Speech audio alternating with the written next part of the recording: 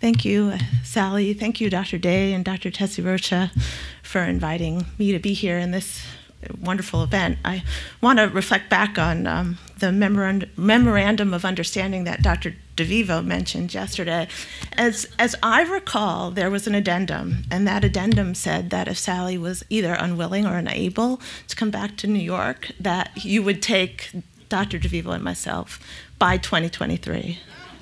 Just saying. So but it, um, in any sense, it's been a great um, day and a half so far, and I look forward to the rest of the day. And thank you, um, Tina and Richard, for setting me up so nicely to talk more specifically about exercise. So here are my disclosures. Um, but since yesterday, we talked about SMA as a slowly progressive disease, um, and I'd like to start there. Um, this paper was um, published by the Utrecht Group, and they looked at a large um, cohort of SMA pa patients from young children to older adults and everywhere in between. And it's a cross sectional study, but they evaluated them on both strength and function.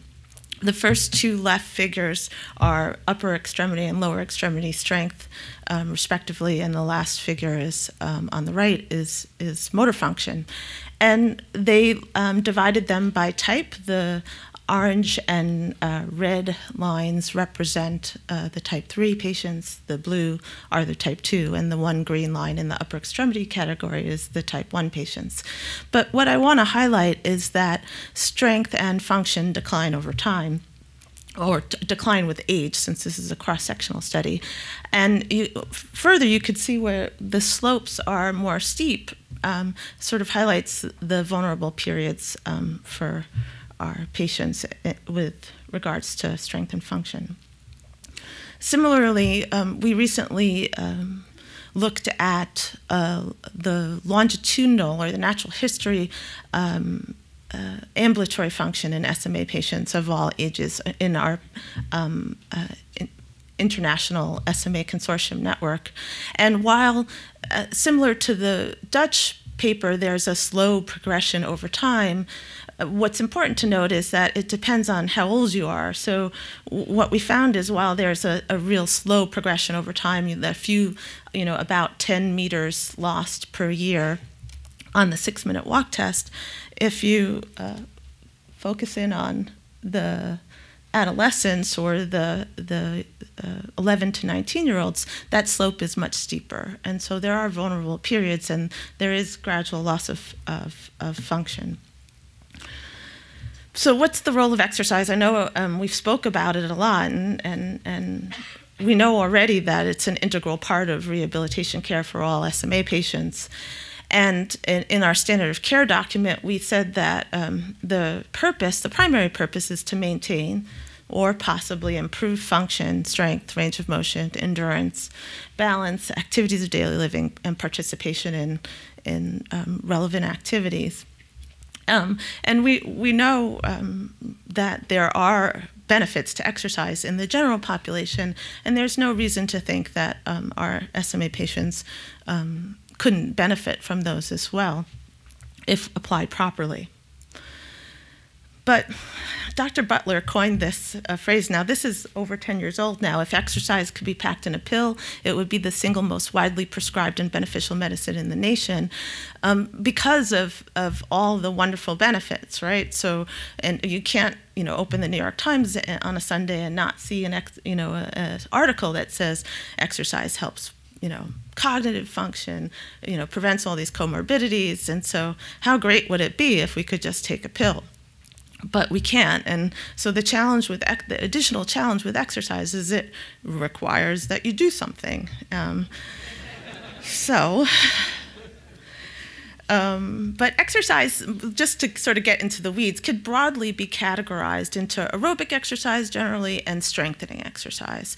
Aerobic exercise is something that gets your heart rate up, right? And um, uh, it usually in, in encompasses a functional activity like walking, running, cycling, swimming, um, anything like that. But when you do those activities, cer there's certainly a strengthening component to it. And strengthening um, involves some sort of range of motion. It, it could, could, active, active assistive. There's different ways we, as we all know, we can do concentric or eccentric exercise or isometric exercise. And in all those domains, we could add resistance.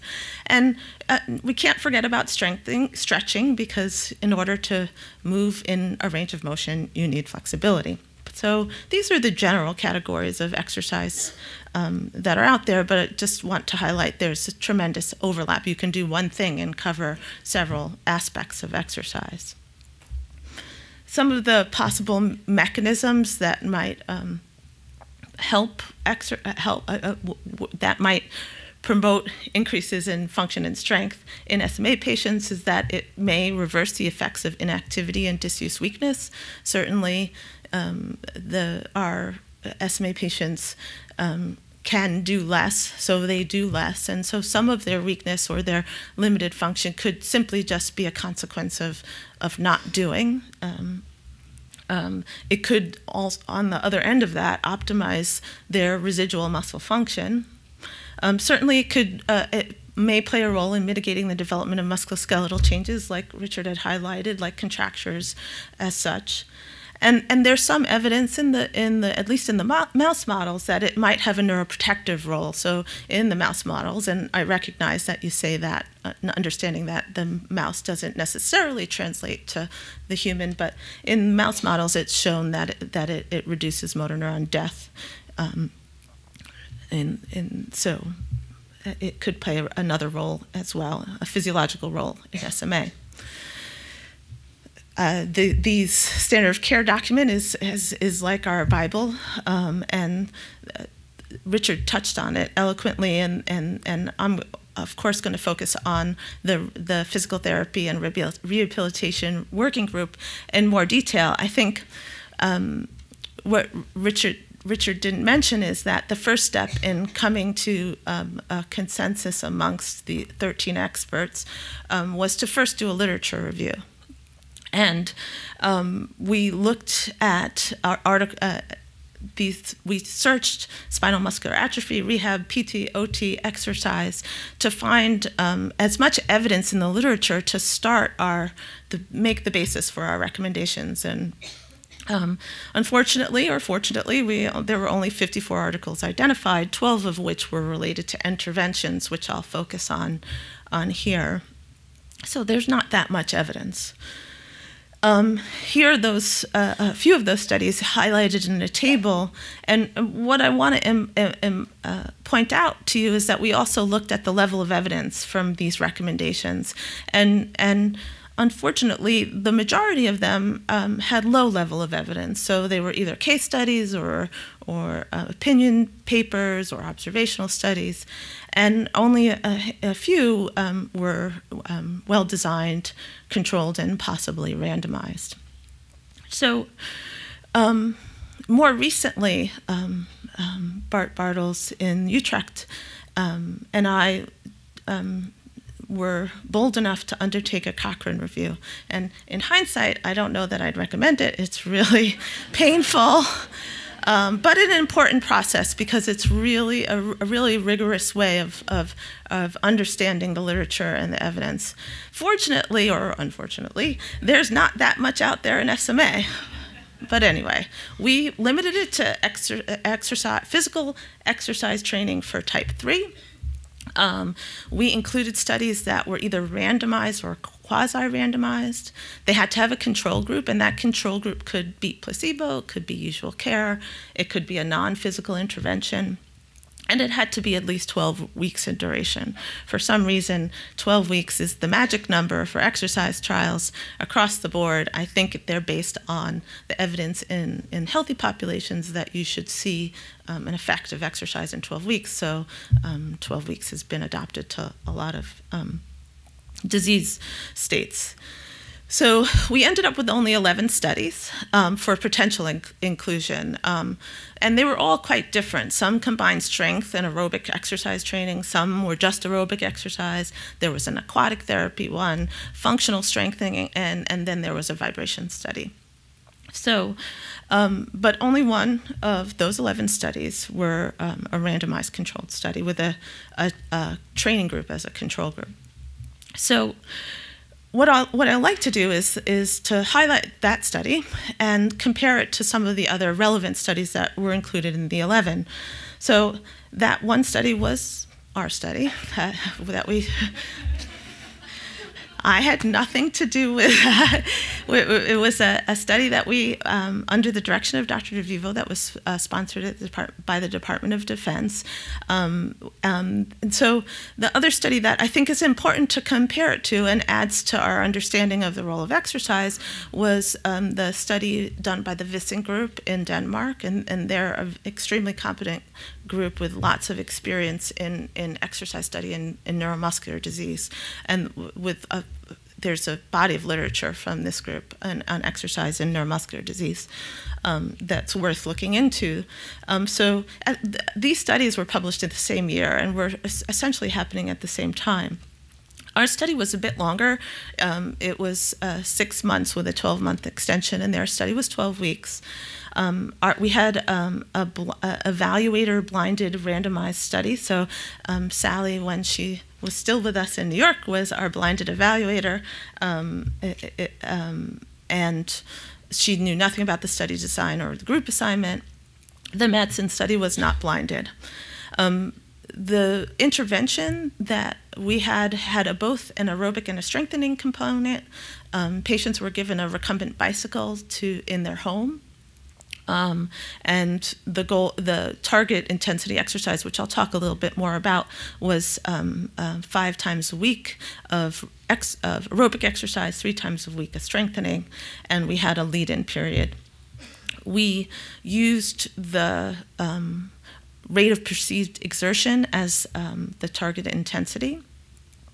And so when patients were enrolled, they were either assigned to the uh, exercise group or the usual care group for the first six months, and then the usual care group was transitioned over for the remaining 12 months to exercise. In the Madsen study, they had a few healthy controls as, as a comparator group. They um, only had an aerobic component, and they uh, their program over 12 weeks was four times a week on an upright bike, and they, they determined the intensity based on their performance on their VO2 max. Um, uh, their max wattage on their VO2 max test. So our primary outcome measure was a six-minute walk test distance, and um, uh, their uh, primary outcome measure was VO2 max and activities of daily living. So the results of our studies, uh, what I want to highlight here is that um, nobody started at 150 minutes five times a week. 150 minutes a week, 30 minutes five times a week. So this is a representative subject here, um, and on the x-axis shows the number of weeks in the study, and the y is the no number of minutes of aerobic exercise per week, with the red line being the target of 150 minutes per week. And as you could see, it took almost six months to get to, to, to that 150 minutes per week. And only 50% of the people got to 150 minutes by six months. So we, we, were, we were very cautious about how we progressed um, the amount of exercise they could do. We, we never increased them more than 10% in, in, and only once in a two week period. Um, so unfortunately, our results were negative. So uh, there was no difference between the control group and the exercise group on any of the outcome measures. Our primary outcome measure is six-minute walk test or um, VO2 max or any of the other functional measures. However, when you looked at all the participants, so remember the usual care group transitioned over to the exercise group, they, um, um, um when you combine all of the patients, that exercised for six months, there was a, a modest improvement in in um, VO2 max or aerobic capacity um, that was found. So similarly, in the Madsen study, they, they started out with nine patients, um, six SMA patients completed the, the study. Um, they did similarly have a, a, a, modest improvement in VO2 max, but it came with a consequence. There was, uh, they reported that there was, their patients had severe fatigue um, as a result of the, the the intervention.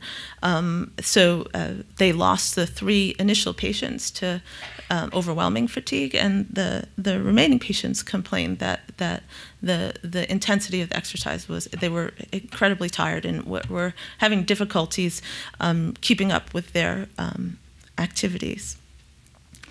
So perhaps that's something to learn that, that maybe progression is something we really need to focus on. Um, in how we approach um, patient care and exercise. To talk a little bit about our strengthening results, um, strengthening was, uh, again, our target exercise intensity for strengthening was 90 minutes a week, so 30 minutes three times. And it was an individualized exercise uh, program that we gave to them and targeting about five to seven muscle groups in the upper and lower extremity. And um, as you can see um, in this similar graph as the previous one, they were it, this was achievable. Um, they got to the intensity quite uh, easily and were largely this is a representative subject, but generally everybody was largely compliant with the strengthening exercises. And while there was no significant difference between the groups, um, the the the some of the measures, there was positive changes, and, and, it wasn't statistically meaningful, but there was positive changes in some of our outcome measures like arm, leg, Hammersmith score, um, six-minute walk test in the exercise group highlighted in black that wasn't seen in the control group. One of the other 11 studies that was um, uh, identified as potent, for potential inclusion in this Cochrane review was a study that um, was led by um, Kristin Krosschell and uh, Kathryn Swoboda, uh, um, where they looked at um, a home-based strengthening program in SMA patients where physical therapists went to the house and did um, strengthening exercises with nine patients um, over 12 weeks. And um, they found that it was well tolerated um, and there, there were no adverse events and there was, it was safe and feasible. Uh, unfortunately, there, uh, similar to our results, there was no um, um improvement in strength or function um, that was uh, significant, but it wasn't necessarily powered to do so. I've, this other, it's more recent article from Turkey, I think um, is is interesting and supportive. This is uh, they studied five patients um, with arm cycling, so non-ambulant patients doing arm cycling um, for 12 weeks. Their magic number, 12 weeks. Um, um, and what they found is that SMA patients were able to um, exercise farther and um, longer. On this upper extremity ergometer, but there were no improvements in motor function. Interestingly, they also looked at other biomarkers, um, biological biomarkers, um, and um, found no changes. I like this article. This wasn't this one um, didn't come up in our um, Cochrane Review as one of the 11, but uh, what I like about this is that it's innovative and creative and references back to what um, Richard is highlighting, that it should be incorporated into sort of child appropriate or life appropriate activities. It's a study that looked at uh, power wheelchair soccer, and um, look, there were 30 participants, and a third of them, more than a third of them, had SMA, which I think is is is a testament to SMA patients. So there was uh, what they, but they what they looked at is MET levels or meta, metabolic equivalents or you know uh, um, activity and, and, oxygen consumption and perceived exertion during these power wheelchair soccer games. And in fact, they, they found that there's a little bit of increase in in in MET level and RPE during power wheelchair soccer. So I think we, there's not much evidence to, we know there's limited evidence to rely on. And so, as part of this um, standard of care um, consensus meeting and initiative, is then we had to like put our expert hats on And we used the Delphi method to determine what topics were important, and then the second round was to rank them. And this is the um, results of, of the interventions and the ranking of interventions um, based on non-citizen walkers.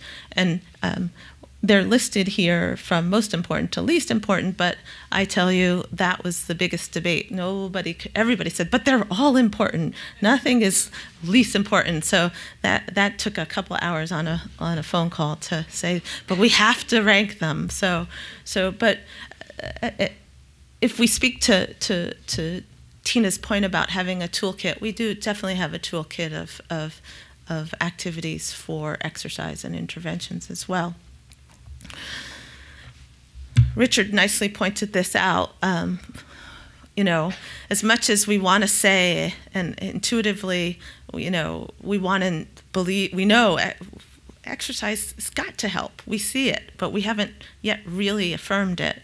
Um, but I think what we can affirm is that it's generally safe if administered um, properly.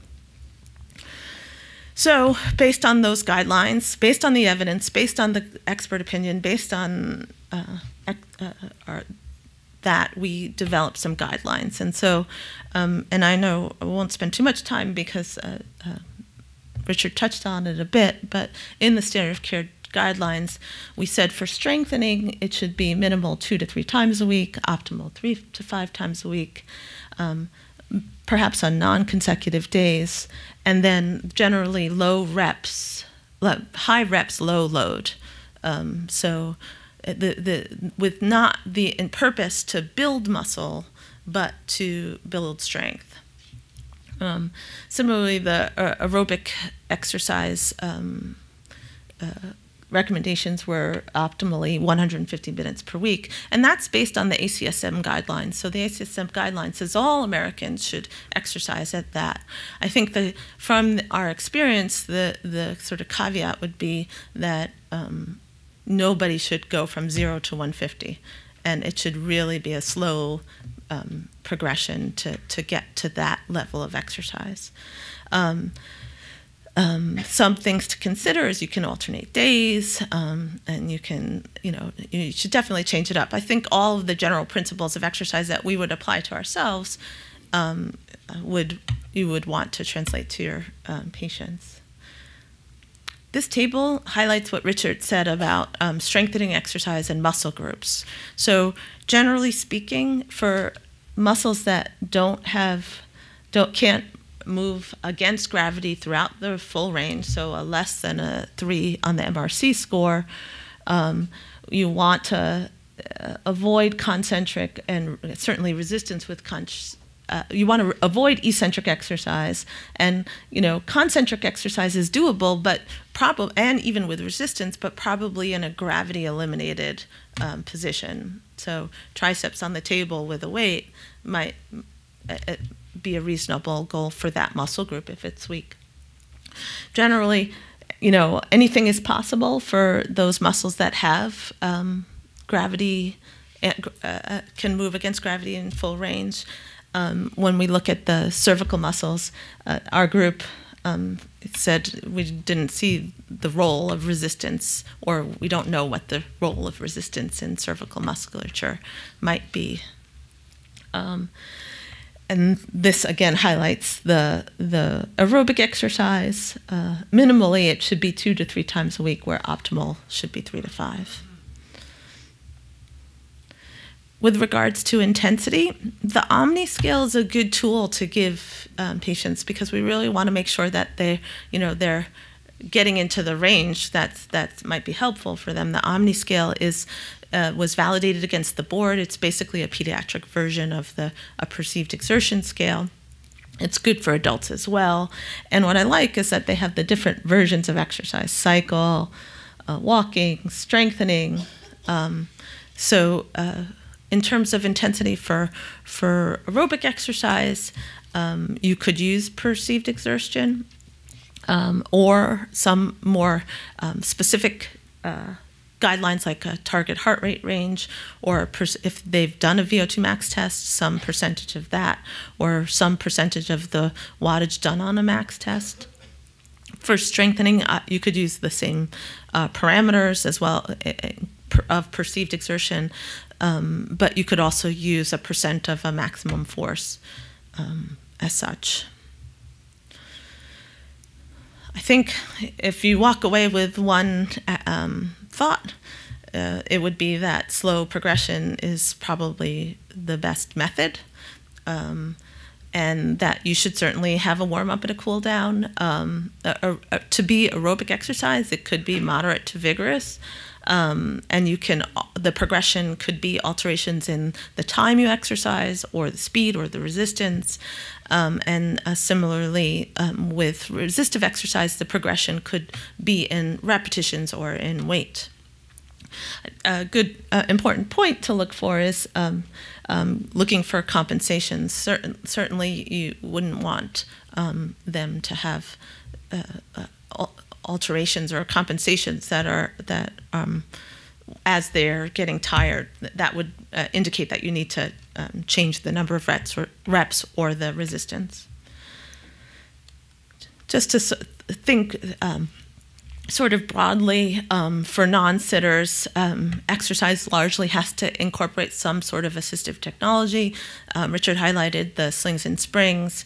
Um, this is another version of that. Certainly, aquatic therapy is, you know, where feasible, the best uh, thing for um, the weakest patients because they can move the most, right? And you're, you're, we're here in California. It's easier, I imagine, in sunny, warmer places than, than colder places. And I, I recognize the challenges of on a family to get into a pool and, and so forth. But ultimately, if possible, that's probably the best environment for the weakest patients. Um, for uh, uh, sitters, uh, exercise should, as Richard had highlighted, be act, uh, incorporated into activities of daily living and age-appropriate activities.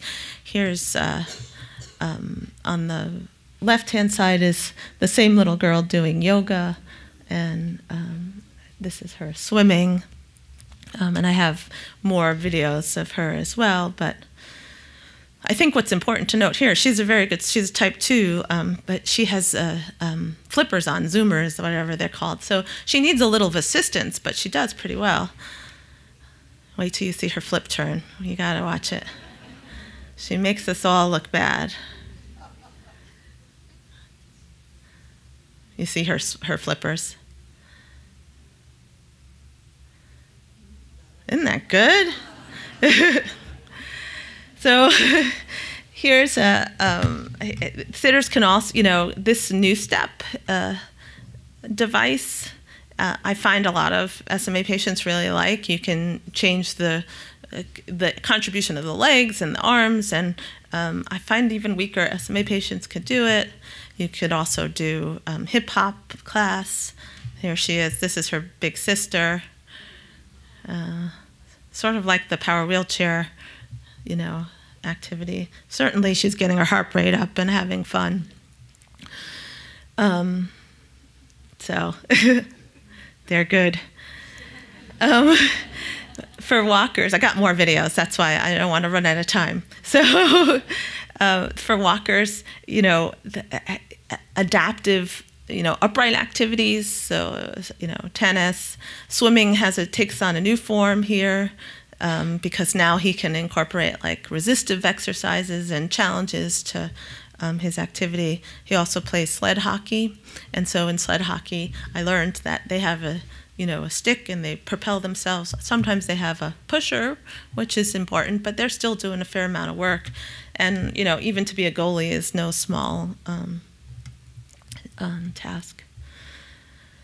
So I thought I would um, just show a quick case study, and, and um, Sally uh, put this together for our course last year um, of a patient of ours, and I, but I think it highlights. I'm, I'm, disclosure. She's like the exemplary. This little girl and their family are exemplary in their exercise program, but I think it's a, a, a good um, example. So she, with regards to strengthening exercise, she exercises does strengthening exercises two to four times a week.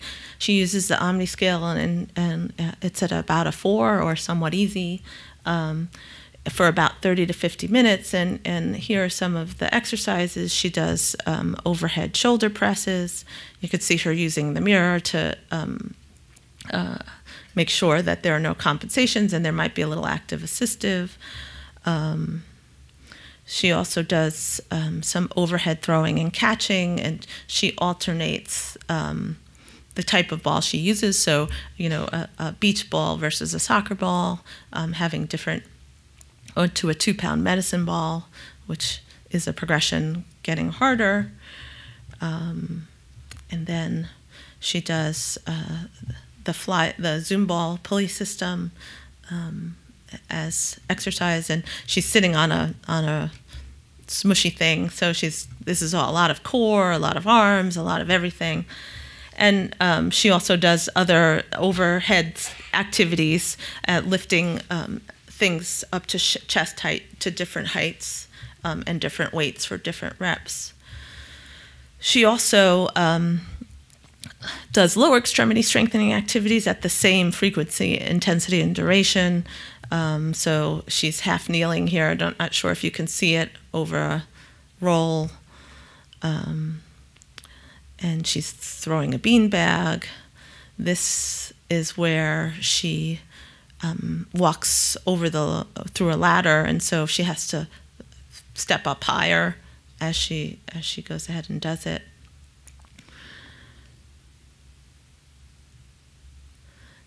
And then she does bridging with sometimes with a resistance, with a, a, a um, weight on her belly. And she also does toe taps and the parallel bars and all sorts of um, walking activities. She's unable to walk without um, Lofstrands and braces.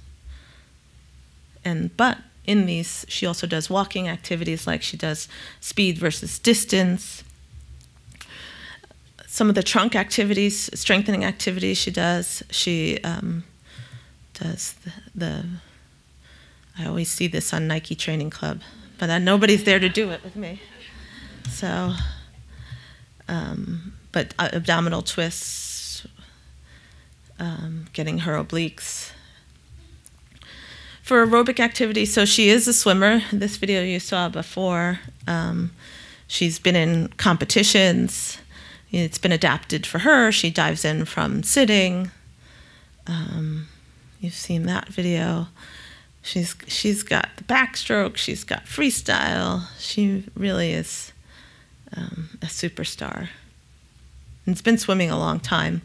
Um, it's a family affair. You saw her doing wheelchair hip hop with her sister. This is her mom.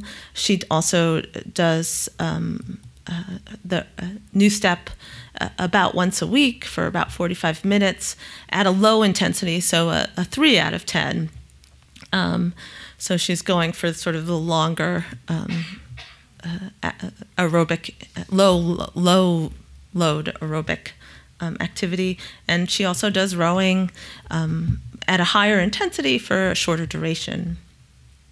So, and that certainly um, as I learned, rowing is all legs, so she's definitely getting a lot of legs. You think it's arms, but it's a lot of legs and trunk. And she does cycling. There's dad and sister. Um, and she does that at least 10 to 30 minutes a week. She's grown up on her bike. So she's really exemplary as just as a case study. And so what I'd like to close with is that we we know we've heard so so and it was so eloquently put yesterday that function improves with treatment, and we're really just on the horizon as to as to um, what else we can do with treatment and different the different therapeutic um, interventions that are out there.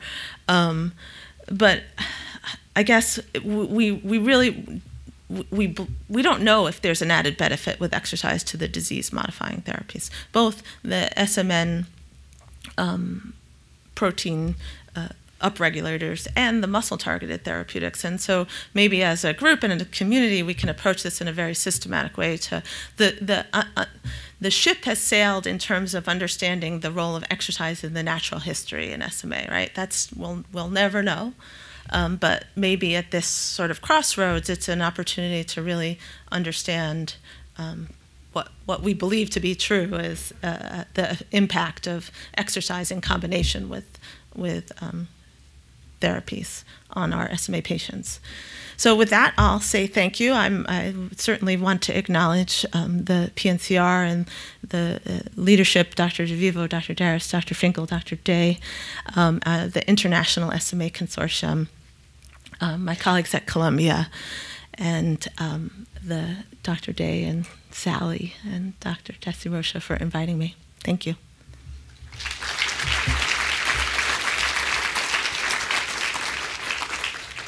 Lots and lots of questions again. Thank you for submitting them. Honestly, this is great, and I do hope you get a chance to speak to one of us before the day ends today. Um, one of the good ones I thought was how do we avoid fatigue and injure um, muscle or neurons but still maximize their function while instructing them to do their exercise program? Sure. I think we can learn from our lessons, right? So, so um, from our lessons from our studies, that certainly um, using an OMNI scale to understand their perceived exertion, um, to understanding their progression, to, to progressing them slowly. That's one um, approach. Um, and to, to getting their feedback. So, so, you know, understanding their response to the exercise and then, you know, modifying it in real time um, going forward. So, so, so um, you start with the, some sort of recommendation based on their performance. So it's five to 10 minutes of cycling exercise, just, you know, a, a, few times a week. And you should say, you shouldn't feel exhausted after you do it. You might feel a little tired, but you should be able to recover. And then you, you sort of monitor it um, along the way with very gradual increases in intensity as they go forward. So. Uh, do you have a target Omni that you would recommend trying to keep them at an intensity level? I think you, we, we were, our study was designed to work between four and six. So um, I think, um, which is like somewhat easy to somewhat hard. Um, but I definitely would err on the lower side. I mean, we do we do maximal exercise tests as part of our other studies, part of our exercise study and our current studies, and so you can do a max test and not have long-term negative consequences. But so so you could do maximal exercise. It's not that that you're going to do long-term harm. It's just not something that's that is sustainable and should be done in the right context. So when they come to do max tests with us, we make sure they're rested the night before and that they don't have anything planned for the the evening after, so or afternoon after. Thank you. Um, you had the great case study of a sitter and show great pictures of a walker. Do you have any um, suggestions for exercises or how to get aerobic and strengthening um, done for a patient like our patient Lucy yesterday, who's more of a severe spectrum type 1? I think the two things we could rely on the most are the pool, which I, I realize is not such an easy task, but the pool is where they, they can move and do the most.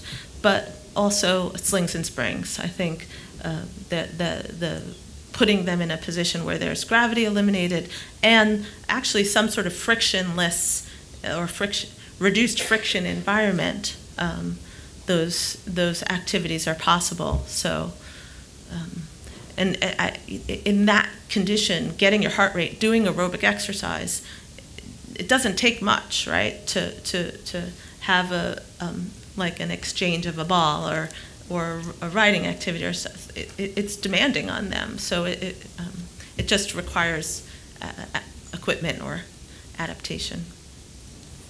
Last one i thought was good as well. Any strategies for pain management while exercising? Any muscle spasms or cramps or how to help manage that? Yeah i, I mean i don't have a, a lot of um, i haven't had a lot of complaints of of, of muscle spasms with exercise. Um, certainly, pain after exercise uh, is, is something that needs to be addressed, and I, I, I would certainly treat the, the underlying problem, but maybe reflect back and see if is it a form problem? Like, are they doing some activity that that that is out of form? That's that is in is causing the pain. So get to the bottom of of of, of the dysfunction. I so if, if, is their posture good? Is it too much resistance? So um, I, I, that would be my approach. Thank you so much. Sure. The preceding program is copyrighted by the Board of Trustees of the Leland Stanford Junior University. Please visit us at med.stanford.edu.